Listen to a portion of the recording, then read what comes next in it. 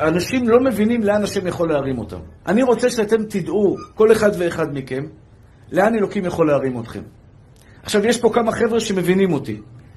מבינים אותי, מבינים לאן אלוקים יכול להרים אותם. אם הייתי מראה לכם לאן אלוקים יכול להרים אתכם, הייתם עובדים קשה כדי להגיע לשם. אבל רוב האנשים, מה, מה תגיד לי, מה ייתן ממני? אני עובד טוסטוס שליחויות, חמש, שש אלף שקל, שבע אלף שקל, לאן אלוקים יכול להרים אותי? בא לי לתפוס אותו, להגיד לו, יא כופר. מה, אתה נורמלי? אתה יודע לאן אלוקים יכול להרים אותך? יש בעיה לקדוש ברוך הוא לתת לך לפתוח חברה כזו מחר? הרי מה, מאיפה הגיעו לו 30 מיליארד דולר? הברקה. לחבר בין שני אנשים. אתה רוצה שם פה, הוא רוצה להרוויח 20 דולר, חיברתי ביניכם, נהייתי מיליארדר. הברקה פשוטה, אחי. לעשות אובר בשליחויות.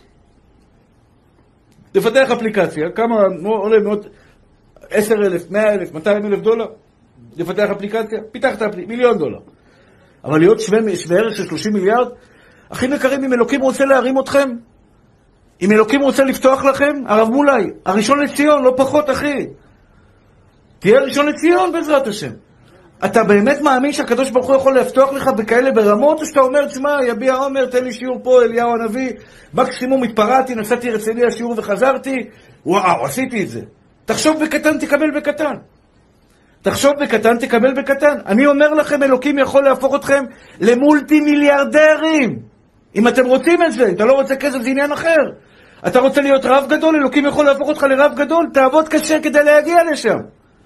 זה מה שאני משכנע אתכם. אלוקים יכול להרים כל אחד ואחד מכם לגבהים שאתם אפילו לא מבינים, אבל אלוקים אומר, בוא דבר איתי, תשכנע אותי.